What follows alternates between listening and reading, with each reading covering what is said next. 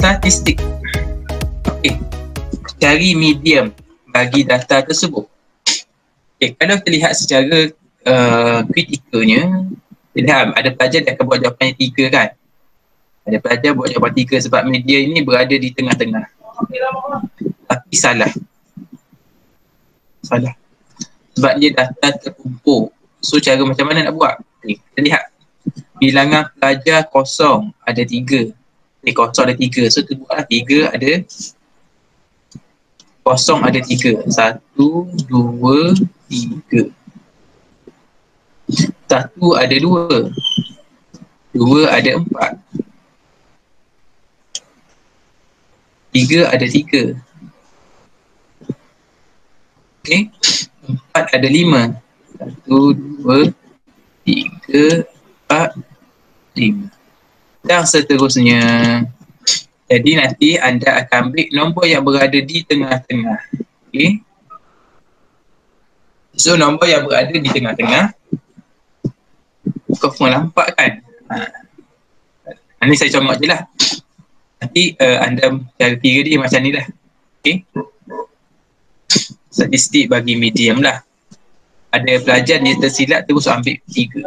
Okay so salah lah okay kita lihat pada Ming okay yang ini pula mesti cari titik tengah titik tengah 25 ke 29 titik tengah dia adalah berapa? Macam mana nak cari titik tengah? Titik tengah macam ni. Dua contoh saya tunjuk yang inilah.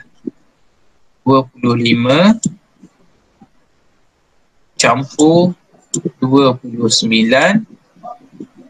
bagi 2 dah dapat 20 Okay. Ini adalah titik tengah. So tak akan dapat sini 27. Sini akan dapat 30. 2 kan.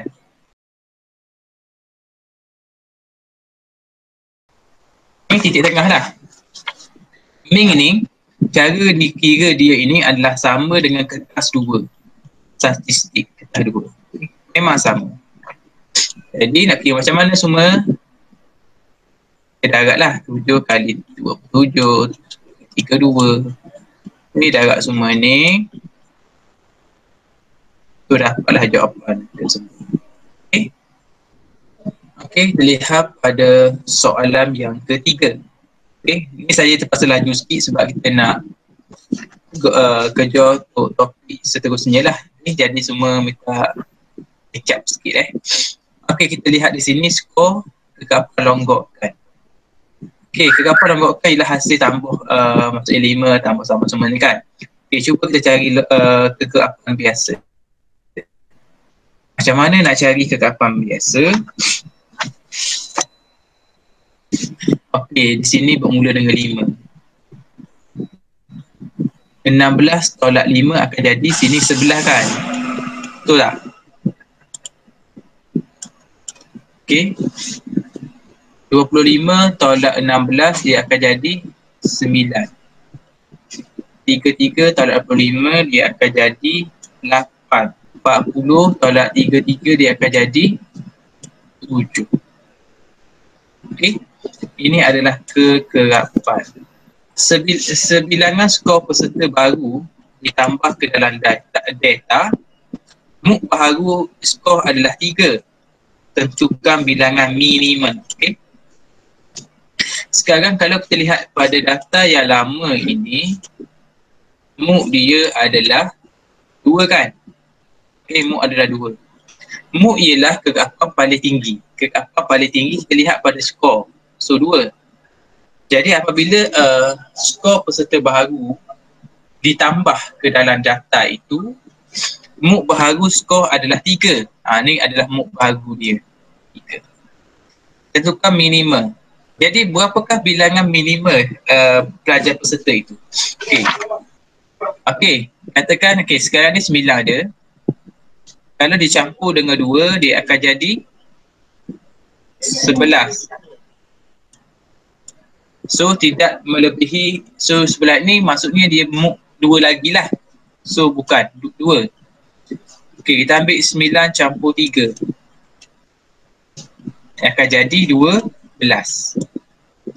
Okey. Kalau campur 4 akan jadi 13. Tapi mu mu asal adalah mu asal adalah 12. Dia nak minima. Jadi kita ambil lah nilai yang ada adalah 12 lah. Sebelah sebelah dua belah. Okay. So sini adalah mu kan. Mu asal adalah sebelah. Kalau kita ambil tiga belah ini dia adalah nilai maksimum. So kita ambil nilai 12 adalah nilai minimum. Okay. Jadi jawapan dia adalah tiga. Okay, ada soalan tanya? Ada ada soalan. 9 tambah 2 kenapa? Apa? kenapa kenapa 9 tambah 2? Kenapa kena tambah 2? Kenapa kena tambah 2? Okey. Ni uh, ni saya cuba buat cara uh, trial and error. Okey, 9 tambah 2 9 tambah 3 9 tambah 4 kita nak lihat berapa jumlah jawapan yang, yang diperolehi. Okay, sebab kalau kita dapat sebelah ini adalah sebelah ini adalah uh, nilai mu yang lama. So kita nak lebih nilai mu baharu ini nilai yang lebih. Okay, sebab apa? Sebab mu baharu skor ialah 3. Ha, dia berada di sini. Mu baharu.